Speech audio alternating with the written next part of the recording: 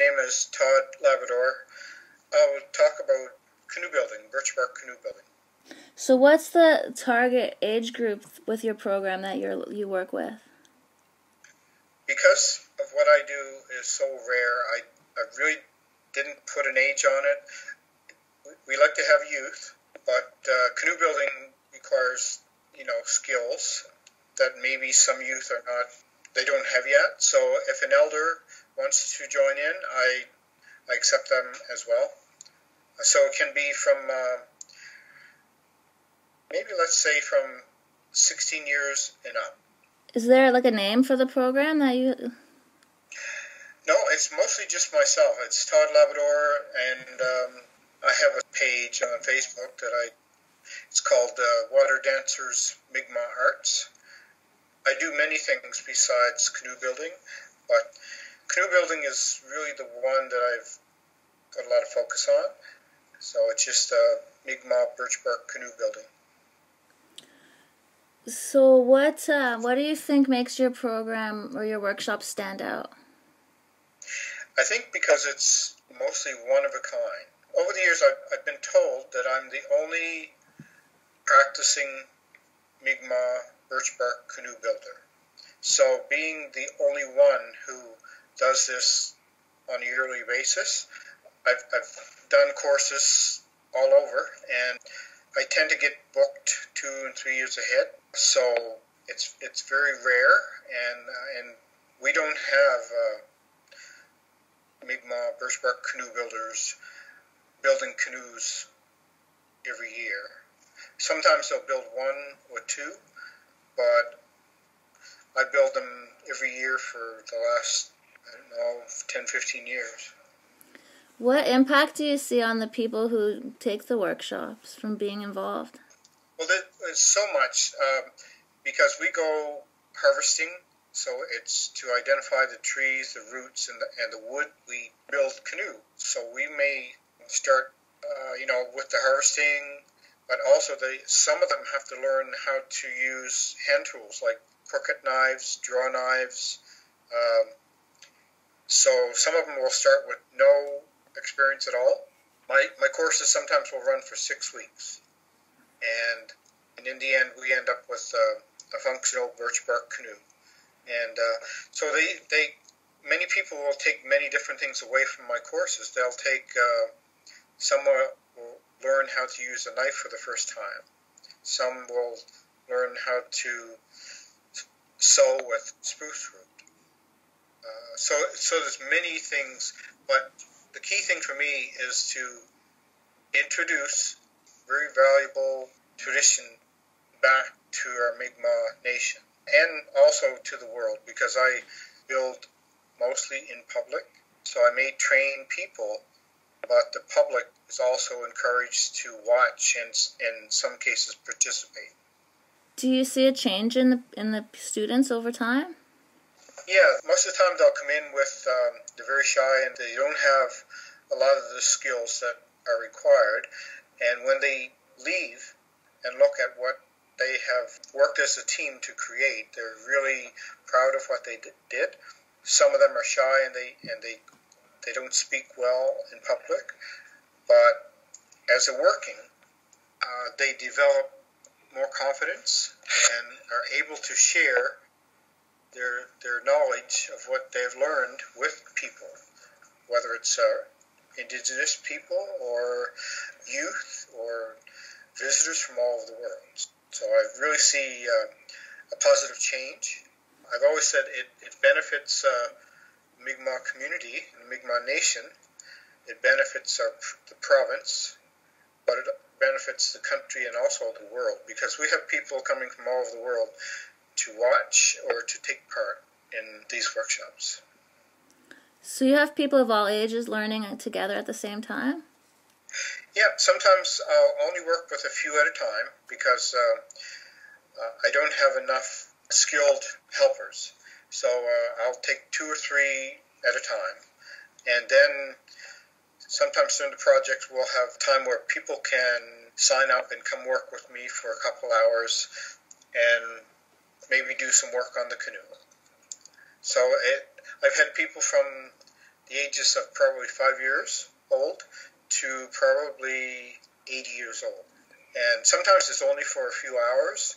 Sometimes it's for, you know, a longer period of time. But uh, because it's such a rare opportunity, it, it goes over very well.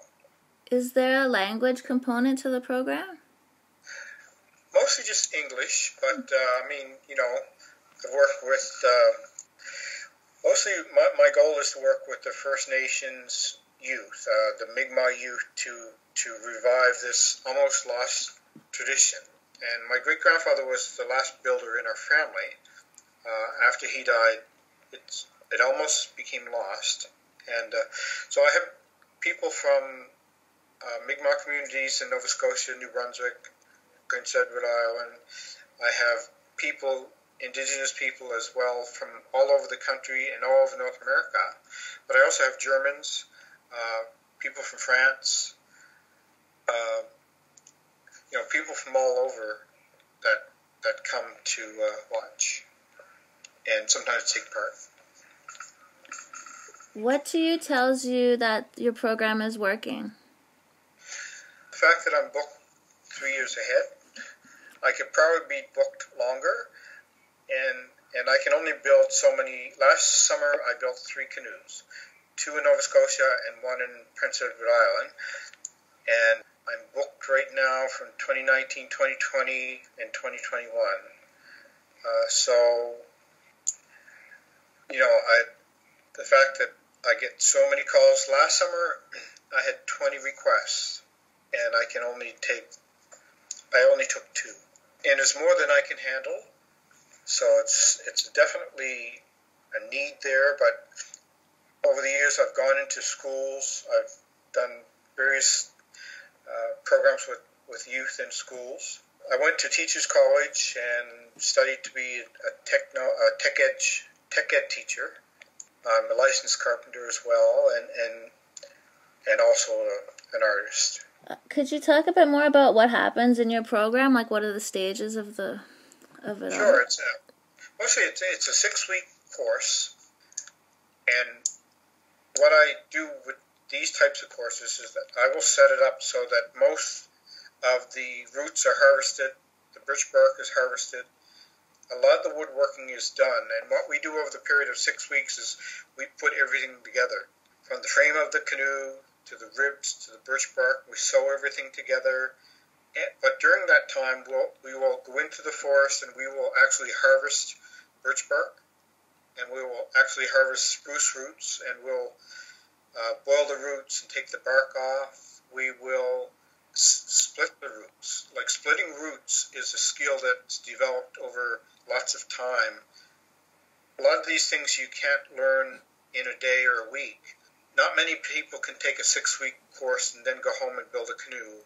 It's a long term apprenticeship where sometimes you have to work and develop that skill. It's, it's a skill that you can learn how to build a canoe, but out of that, you'll have other skills that develop, like how to make birch bark containers, how to how to uh, make other things with spruce root, uh, how to bend wood, like how to bend wood, how to identify wood. There's many different things that uh, many spin-offs, I guess, from from the project, but also for them to know that this is what their ancestors did with very limited tools. Uh, they had stone, bone, and wood and they created canoes, you know, traveled the ocean and, and across the lakes. What would you say is the aim of the program aside from making a canoe? Like, is there maybe a healing aspect or spiritual component or aim? It is. It's a, it's very spiritual. Harvesting is spiritual because we, we we do ceremonies where we offer we offer tobacco. We do smudging to harvest the canoe, uh, harvest the bark and the roots. We ask our ancestors to, to help guide us. So it's a healing process. It's and we've always my father always said it's a healing process of as you're building. It's a very uh, spiritual, meditating in a lot of ways too. But also it, it, it instills a sense of pride back to our people because the, the youth come along and they and they start to develop skills that they didn't have. So that makes them proud. But the elders start coming out and saying, I remember when I was a child and my great grandfather made baskets. Or my so out of that stories come back. Maybe stories that were almost forgotten until the elders saw spruce roots. Then they start telling stories of when they were little collecting spruce roots with their grandparents. So it's a healing process, but it's also bringing positive things to the communities where the elders love it because they they travel for hours to come and just to be with us for a few hours, and uh, because they they're so uh, pleased that with what we're doing. Have you found any challenges that you've had to overcome in running the program?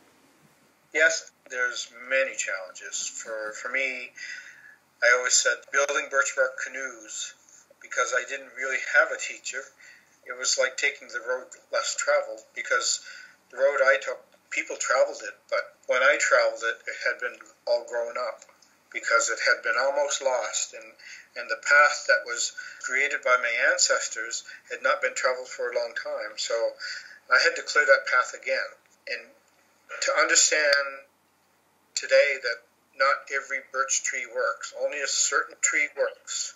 So I have to find a certain tree, but today all I find is clear cuts. Um, so the land that I go on to is usually not my land. It's usually not reservation land because most of the trees are cut. So I have to get permission from Crown Land, the government, Parks Canada, private woodlot owners, and there are times that they want to help, but other times they don't want to help. So it's always a challenge to explain to them that uh, this is a good thing. It's uh, valuable for our nation, our youth, but it's also valuable for the country and the world. So those challenges, um, and a lot of times the government will say, well, how much did you pay for the birch bark? Or how much did you pay for spruce roots? So my challenge is I can't tell them, you know, I bought birch bark at Canadian Tire, I bought birch bark at Home Hardware because it's not, you can't do that and I have to go and harvest and dig my own roots. So those are challenges that that are you know I, I can't go to the store and order 700 feet of birch uh, spruce root. So things like that, and also to uh, make the government realize that this is a good thing. This is very good for our community, our people, and our nation.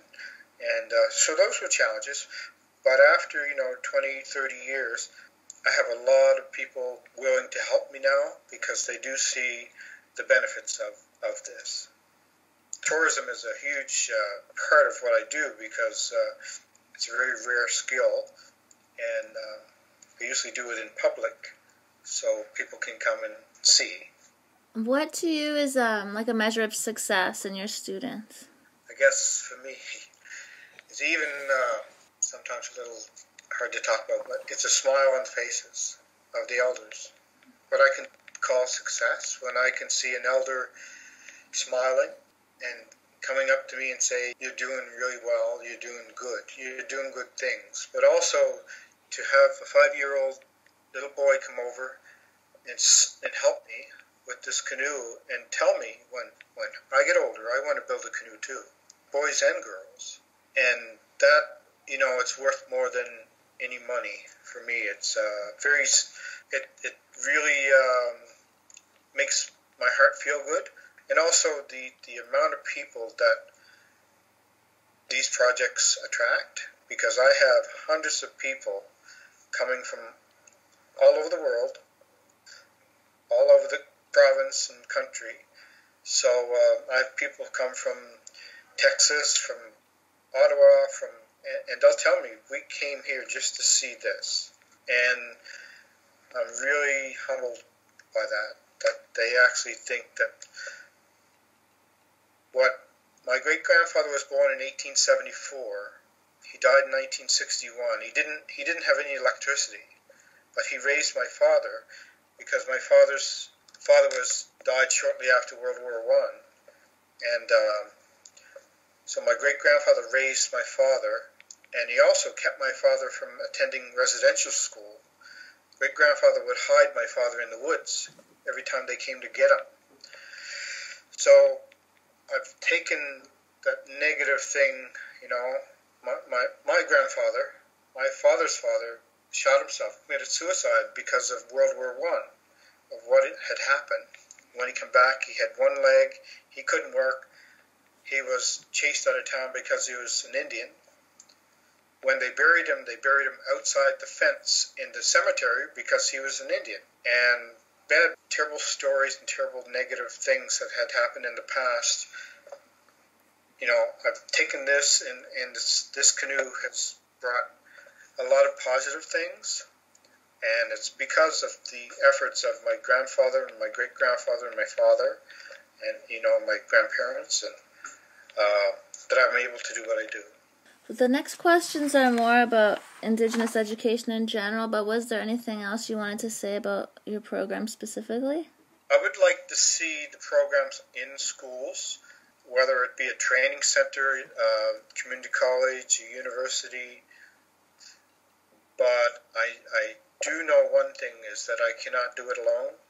I, you know, I'm getting to the point where I mean I can go for another ten years, but my hands are sore. I'm developing arthritis, but I have thirty to forty years of knowledge that I need to pass on. So I really need help somehow to to get people involved so I can um, so I can pass this on and somebody will take it because I, you know, there's going to be a day that I'm not going to be around, and I hate to see that 30 to 40 years of knowledge that I have, birch bark and, and things that I've been taught, I hate to see that lost. I want it to keep going.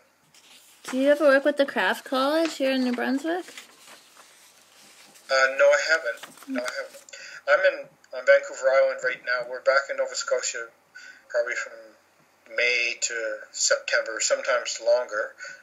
But uh, this summer we're building two canoes. Next summer we're building a, an ocean canoe for the North American Indigenous Games, and uh, that's 21 foot ocean canoe. So I'm, I'm really, uh, as I said, I had over 20 requests. So I'm, I'm limited as to, you know, how where I can go, and possibly next spring I'll be in Newfoundland. Uh, so, so I, you know, there's a lot of uh, interest out there, and mostly what I have to do is for 2020, I have to harvest in 2019. So I have to harvest almost a year ahead. So that's what I try to do. And, and it's like one canoe, 16 feet, takes more than 700 feet of root. So to have somebody to help me to split those roots and learn as they as they do that would be really good. Crafts College would be great. You know, community college uh, would be really nice to see. But do you ever work with the Red Road Project?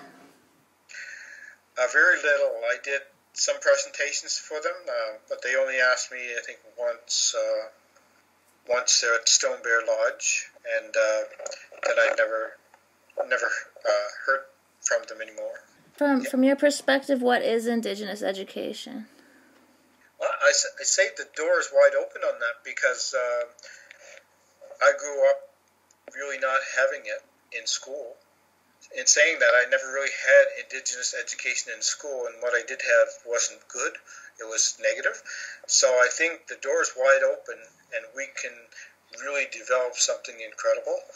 There's so much from the land, so much that we can do, but also modern stuff. Like right now, I'm, I'm carving red cedar because I'm here in British Columbia. I'm carving Mi'kmaq petroglyphs on three foot diameter red cedar. So I'm taking an old tradition and modernizing it. So so many modern things we can do. You know, uh, it's endless. So indigenous education, I really think it needs to involve indigenous people. There's so many elders out there with stories and knowledge they want to share. Unfortunately, sometimes in our First Nations governments, because of First Nations politics, a lot of these elders aren't on their on their lists and they get missed. You know, so in some communities there are elders who don't have chance to to take part in different things because you know, and sometimes maybe it's because of politics. So that that's unfortunate because our youth lose there, and uh, we all lose there because there's still elders out there who have something to give and are being missed. So I think you know that's that's very important not to miss those elders because once an elder passes, you know that book is closed. For the future, like what is your vision for Indigenous education for the next ten years? Like what would you like to see? Well, for me, I will continue to do what I do as long as I can. Always, uh, you know, as I said over the years, I can build a canoe or I can do work in my shop with the doors closed, but nobody benefits from that. I have to pass on things, so I always have to be involved with teaching. And uh, so I'd like to see uh, it continued. I'd like to see schools where people are taught how to make baskets. People are taught, you know, you know how to how to skin deer, uh, how to tan hide, how to make drums. For example, I'll I'll have leftover pieces of birch bark. I'll have leftover pieces of spruce root. But I can't throw it away because what what I can't use on a canoe can be used somewhere else. It can be used for making little containers. I can do etchings on the winter bark, and it can be a a two inch square piece of winter bark. It's so much that can be done with that. Uh, the uh, Abbe Museum in Bar Harbor, Maine, incredible work. And the youth in Maine are creating incredible things. You know, baskets, uh, birch bark. Uh, it's really uh, inspiring to see that. I would like to see maybe certain centers in certain areas where where you can set up and people can come and learn. And I'll be teaching physically. I'll be teaching, you know, at least for another ten years. But uh, verbally, I can still. I want to do a book.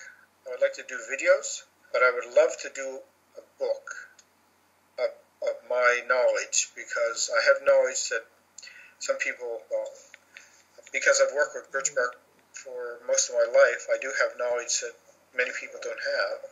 And I really think once you gain the knowledge, you have a responsibility. In our, our culture, my responsibility is to pass it on. So that's what I hope to do.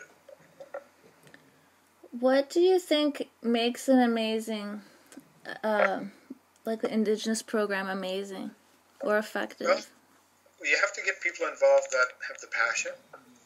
You know, it can be it's really nice to work with Indigenous people, but there are non-Indigenous people that uh, can help as well.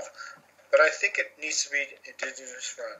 You know, we have to have uh, we have to have uh, you know criteria that that makes it successful, but it really needs to be run by Indigenous people, and not always do they have to be uh, university educated.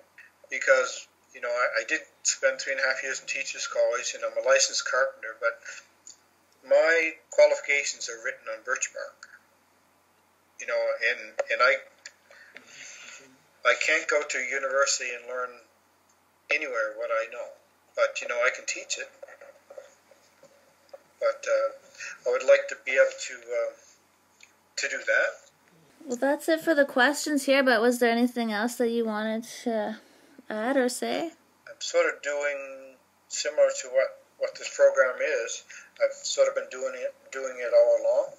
Uh, sometimes sometimes uh, people have incredible ideas, but they're they're traveling parallel. It's like train tracks. You go side by side doing the same thing, and sometimes they never never touch.